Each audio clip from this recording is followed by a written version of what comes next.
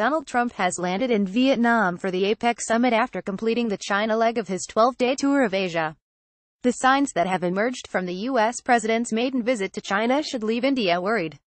The unpredictable Trump, as had been feared, has single-handedly upended U.S. foreign policy trajectory. President Donald Trump and Chinese President Xi Jinping participate in a welcome ceremony at the Great Hall of the People, on the 9th of November 2017 in Beijing. AP tie leading to enduring Secretary of State Rex Tillerson's recent visit to India, the policy direction pointed towards a greater role for India as the fulcrum of a free and open Indo-Pacific region. It also envisaged a security grouping quad of like-minded democracies with India at the center to push back against a China-centric regional order. The foundation of these verticals has been shaken. In his CSIS speech during Diwali, Tillerson castigated China for its predatory economics, scant regard towards the rules-based order and failure to take into account sovereignty concerns in mega-connectivity projects. He upheld India as the beacon of democratic values with whom the U.S. is interested in stitching up a strategic partnership for the next 100 years as Professor Manpreet S. Anand, who served as Deputy Assistant Secretary of State for South Asia in the Barack Obama administration wrote in Foreign Policy, by recognizing India's role in a larger strategy to promote rule of law, freedom of navigation, universal values, and free trade, Tillerson put forward what the Trump administration has struggled to build until now, a coherent view on the values that underpin its foreign policy. The term Indo-Pacific, that the Trump administration has been using abundantly as opposed to the Obama-era Asia-Pacific and Indian Ocean region, in itself spoke of the recognition of India's importance in ensuring a maritime free commons. A senior White House official told PTI during Trump's Japan visit that it is an acknowledgement of the strong and growing ties with India. We talk about Indo-Pacific in part because that phrase captures the importance of India's rise. The Trump administration seemed to be showing strategic continuity and even taking forward the notion of previous administrations that democratic India is a natural counterweight to an autocratic China. Among the Indian policymaking and strategic circles, skeptical voices did warn against a visible swing but those were fading in the background in favor of an emerging consensus that a greater strategic and security partnership with the U.S. is needed to balance China's assertive rise. In one fell Trumpian swoop the entire superstructure of an emerging affiliation and Indo-Pacific tilt that the U.S. State Department and the national security establishment has been at pains to promote has been replaced, at least ostensibly, with a new type of power relation with China. This was straight out of Xi Jinping's playbook. Trump seemed to have walked into the trap laid by Xi who wants nothing more than the U.S. to recognize China as an equal partner in a bipolar global order and had made fanning of the Trumpian ego through a show of pomp and grandeur an obvious means to achieve that end. This may not only further skewer the already precarious power imbalance in Asia, it may also have a deleterious effect on US-India bilateral ties. That is, of course, unless Trump's pivots swing wilder than a yo-yo.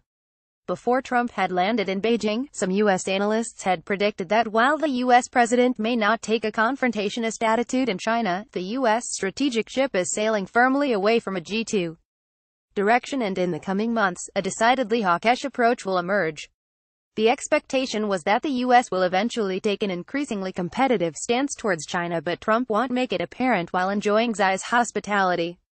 Ely Ratner, Senior Fellow for China Studies at the Council on Foreign Relations who focuses on US-China relations, told ChinaFile that Trump's time in Asia will only amplify his Janus-faced approach to China.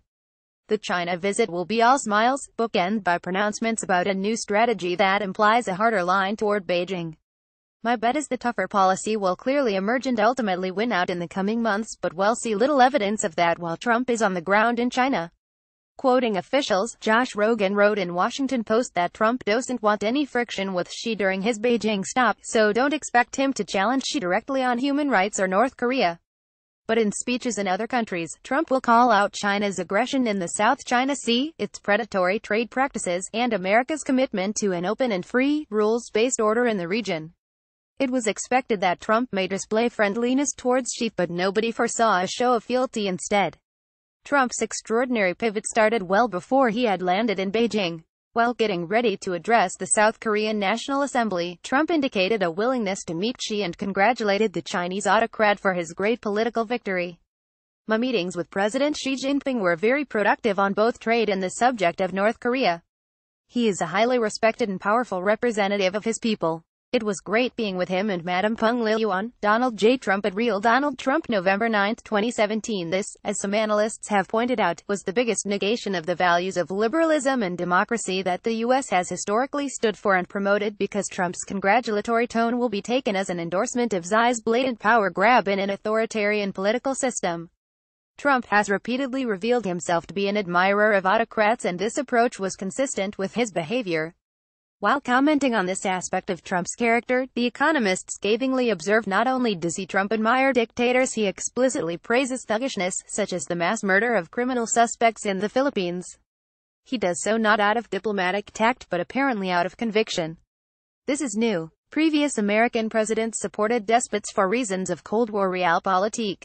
He's a bastard, but he's our bastard, as Harry Truman is reputed to have said of an anti-communist tyrant in Nicaragua. Mr. Trump's attitude seems more like he's a bastard. Great what we saw during the tour cemented the impression further.